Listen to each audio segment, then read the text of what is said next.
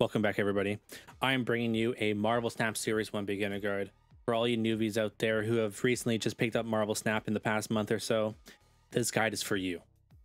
What's the objective of this guide? The, pretty much this guide is meant for players who are just new to this game for in between the collection levels of 0 to 214. Basically understanding different types of gameplay styles within Marvel Snap, for example, move, on reveal, and discard, and so on, so on, so on effective ways to collect new cards, resource management, and early deck builds that help you prepare for Series 2. So, what are the different types of styles within Marvel Snap? There's On Reveal, Ongoing, Destroy, Control, Discard, Move, Zoo, and there's a bunch more others. So, for example, we'll get into Hawkeye. Hawkeye is an On Reveal card, and his role is basically pretty much as soon as you throw the card down, his ability will activate.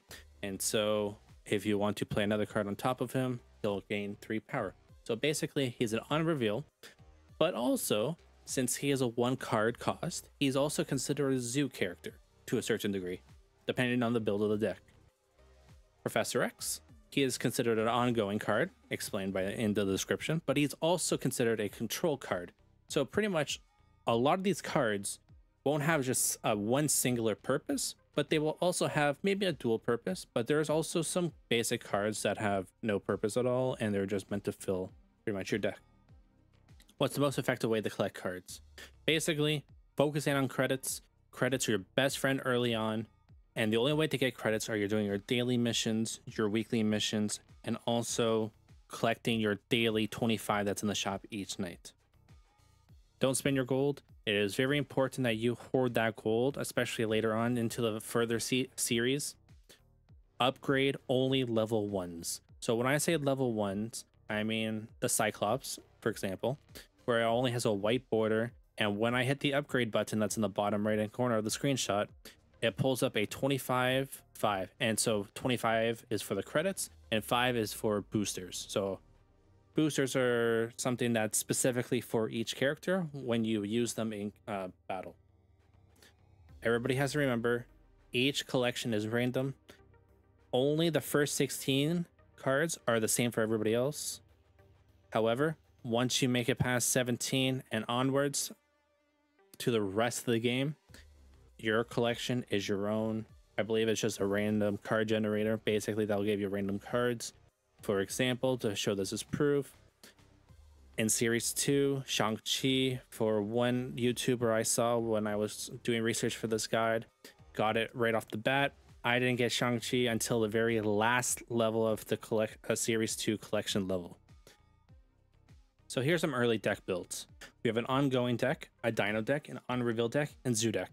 Now, from my personal experience, I still use ongoing decks right now at the current moment, and I'm pretty sure majority of the ongoing cards you see right there, I believe I still have majority of them. I think I just take out uh no Captain America, and actually yeah, I pretty much just have and Nightcrawler. I use other cards, but basically that's still the main core. Uh, for Dino deck, I don't really use Dino decks. I'm not a big fan of the way Dino works because I always feel like I get horrible RNG. But again, don't be afraid to experiment with these four different types of deck. These are all good decks.